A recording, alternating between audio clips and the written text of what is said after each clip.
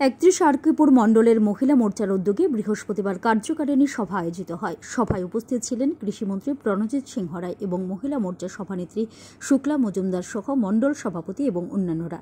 সভায় উপস্থিত কৃষিমন্ত্রী তাঁর বক্তব্যে বলেন, দলীয় দায়িত্ব আন্তরিকতার সঙ্গে পালন করে সরকারের কর্মসূচি সাধারণ মানুষের কাছে তুলে ধরতে হবে। প্রধানমন্ত্রী নরেন্দ্র মোদীর গৃহীত প্রতিটি পদক্ষেপ এবং কর্মসূচি নিয়ে প্রান্তিক মানুষের সাহায্যে কাজ করতে হবে বলে জানান তিনি। নীতিকে ঠিক রেখে দায়িত্বকে সঠিকভাবে পালন করে এবং আন্তরিকতার সঙ্গে, যেখানে আমরা দল সরকারে গিয়ে প্রচার করা এই আমাদের কার্যক্রম। সাড়ে চার বছর আমাদের সরকার।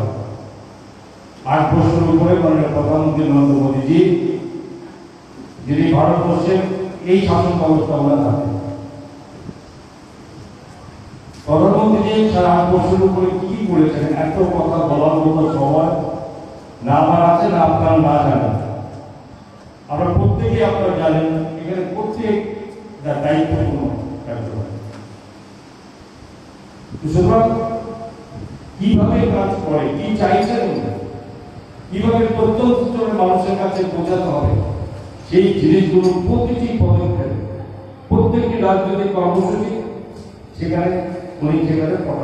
আসন্ন বিধানসভা নির্বাচনকে সামনে রেখে বিজেপি দল সাংগঠনিক পর্যায়ে গুরুত্বপূর্ণ সভা এবং কার্যকরণী বৈঠক সহ একাধিক কর্মসূচি চালিয়ে যাচ্ছে জোর কদমে।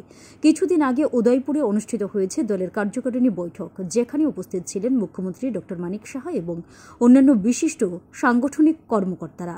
ব্যুরো রিপোর্ট, রাইজিস্ট নিউজ।